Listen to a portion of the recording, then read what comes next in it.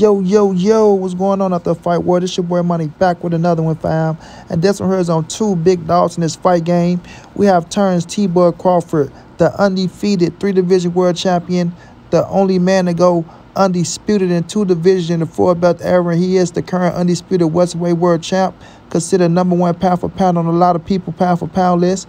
Then we have Errol the Truth Spence Jr., the former king, the former WBC, IBF, and Super WBA unified welterweight world champ. Now he's at 154 pounds, looking to be a two division world champion and continue his legacy of becoming a Hall of Famer and one of the greatest to ever lace up a pair of gloves.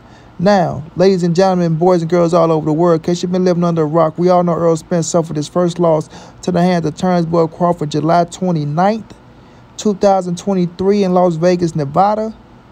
You know what I mean? In a ninth round stoppage. Errol Spence and his rematch clause, you know what I'm saying? Well, he made sure he had a rematch clause, first of all, and he wanted the fight to be at 154 pounds that Terence Crawford agreed to with Errol the Truth Spence Jr. They shook hands like mans, and you know Errol Spence was looking forward to getting his get back at 154 pounds um, against Terence Crawford. But now rumors is coming out that Terence Crawford, right, is saying he want the fight at 147 now. Um, he want more of the money and things of that nature, and that Errol Spence is demanding the fight at 147 because he didn't go sign and, and mark down 154 pounds that he don't want to fight um, at 154 pounds, right? He never um, changed the, the, the, the, weight limit. But we know for a fact that Bud Crawford is getting a little too arrogant. We know that Bud Crawford, you know, is is on this high horse. You understand what I'm saying? And he's trying to get a fight with Canelo Alvarez and trying to do everything that he got to do to, you know, knock Errol Spence rematch out the way by demanding some shit that he know Errol Spence is not going to agree to. You feel me? So Bud Crawford is trying to play chess. And he's trying to force Errol Spence to say, you know what, never mind, I don't want the rematch because I'm not fighting you at 147 and I'm not going to give you X, Y, and Z of all the money. You understand?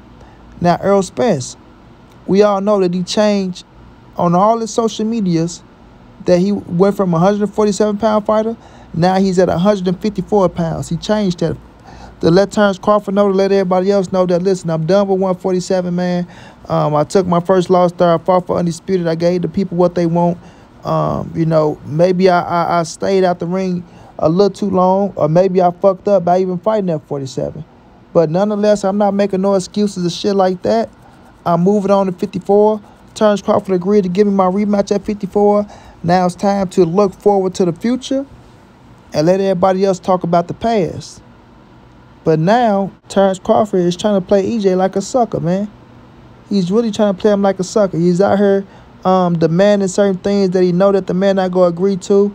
And he's trying to put himself in position to go get that Canelo fight that he think he go get the Canelo fight because he hear people saying, oh, him and Canelo is the biggest fight in boxing. Oh, Terence Crawford can beat Canelo Alvarez. Oh, Jermell Charlo is ducking Bud. So if he was to lose to Canelo, um, Bud should just go up to beat Canelo. Like all this other weird shit. Bud can knock out Canelo. Like, bro, stop it. Stop it, bro. Stop it. For once, we know Errol Spence, um, he want the fight at 154. Otherwise, he would never said it. Two, y'all haven't sat down to even negotiate, you know, all the terms and things of that nature. So you know for a fact that he's not going to change nothing in the contract yet because y'all haven't sat down and negotiated anything yet. So why would he start saying, oh, well, you know what, I'm going to put this in the contract and put this in when y'all not sitting down negotiating because guess what? He's waiting on U-turns, Crawford. You know what I mean? You the man out here trying to make it as if you got so many options now. Oh, Jermell at 154. Oh, Canelo at 168. Oh, I can go to 160 and fight some of these dudes. Oh, I can go stay at 147 and fight Boots and, and Thurman and these dudes who I'm talking about. Like, bro, come on, bro. You said it out your own mouth that you was one foot in, one foot out the door. If Errol Spencer gave you the fight, you was to retire, which I feel like is bullshit. I don't feel like you was retiring at all. Still got too much money on the table, and you still in your prime. Right?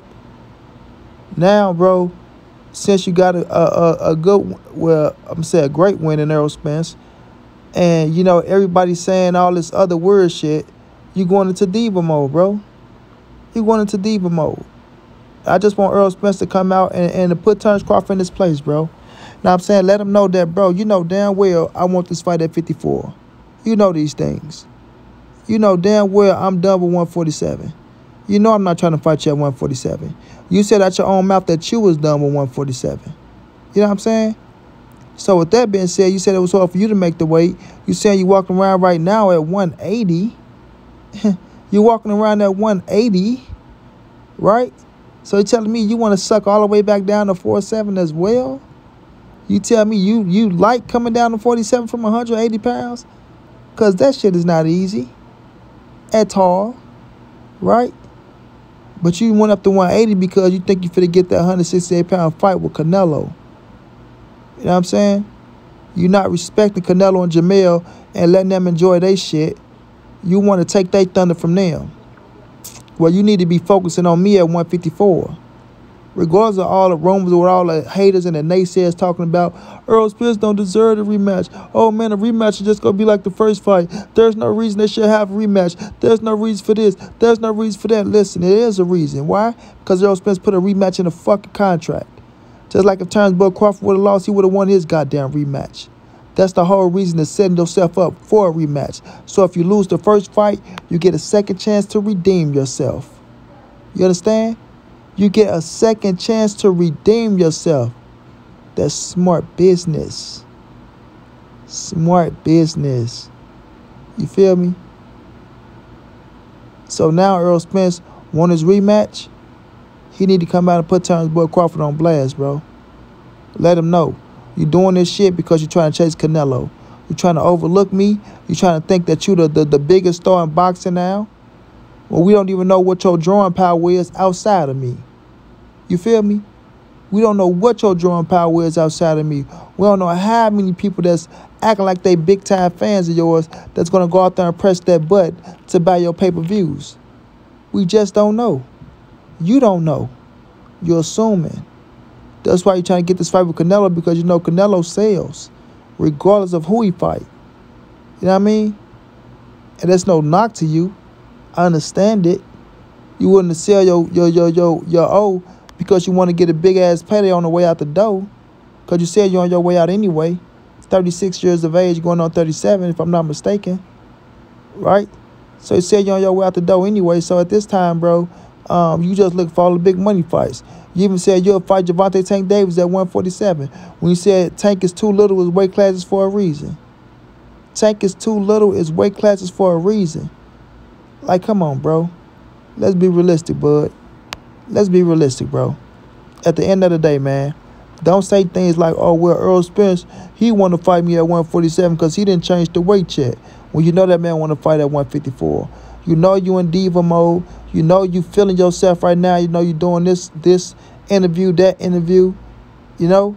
So you feeling yourself. You feel like you're on cloud 10. Everybody giving you your praises. You deserve that. But honor that contract, man. Honor your word, bro. And if you beat Errol Spence again at 54, you're free to do whatever. And you just fought at 54. So now you fought with with 10 pounds on 10 pound gloves and you fought at a weight class with with, you know, extra weight on you. So you get acclimated to, to, to, you know, being a little heavier than what you used to at the end of the day. You did? Errol Spence, you know damn well that man ain't not trying to fight at 47. You know that. EJ, come out, blast this shit, stand on your ground if you want to fight at 54. And if he fuck you over, then just go ahead and move on, bro. Don't dwell off of it. But make sure you put out there to the people that that man ducked you. He wanted no parts of you at 54 and that he was chasing that Canelo money. That's it. That's all, bro. And the fans know that shit. The haters know it. Errol Spence want to fight at 154. Period. That man done with 47. Done with it. Held that weight for a year, almost two years just to fight Bud, and we seen what happened. Get that man a shot at 54. He earned it. He deserved it, and he looked out for you at 47. So, so you know, get that man his his just due. Give him his just due. At the end of the day, Errol Spencer's in the right, Terence Crawford's in the wrong, and if you ride with this shit with Terence Bud Crawford, you in the wrong as well, and you on some sucker shit. Straight like that. Let's go, EJ.